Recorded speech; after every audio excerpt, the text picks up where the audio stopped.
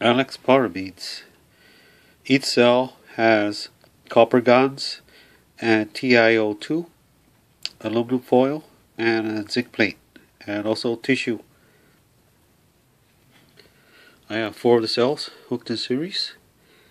And let's see what the voltage is.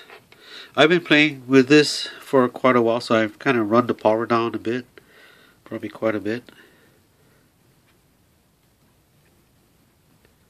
So it's 4.4 volts.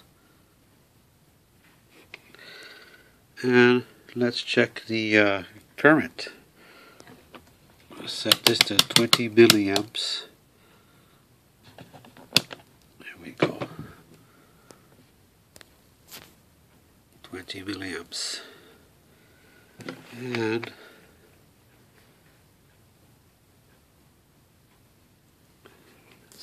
let's get this closer.